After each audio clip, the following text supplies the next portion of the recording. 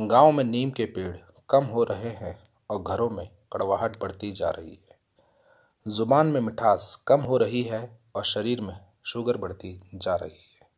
किसी महापुरुष ने सच ही कहा था कि जब किताबें सड़क किनारे रखकर बिकेंगी और जूते कांच के शोरूम में, तब समझ जाना कि लोगों को ज्ञान की नहीं, जूतों की ज़रूरत है।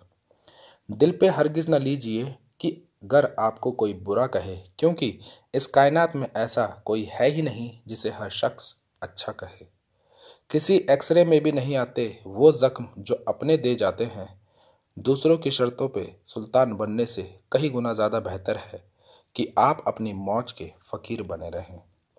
ज़िंदगी में अगर कोई सबसे सही रास्ता दिखाने वाला दोस्त है तो वो आपका अनुभव है।